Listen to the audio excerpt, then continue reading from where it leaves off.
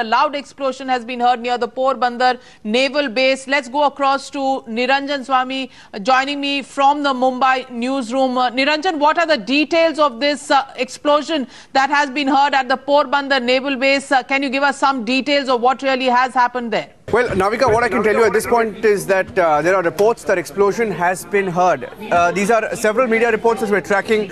Uh, they, they are claiming that explosion has been heard near naval base, near the naval base. And uh, we're also uh, monitoring the local media uh, in Gujarat. And the local media is also reporting that the explosion has been heard near the naval base in Porbandar. Now, this is what we know as of this point. Now, as per, as per the local media, police teams have also rushed to the location.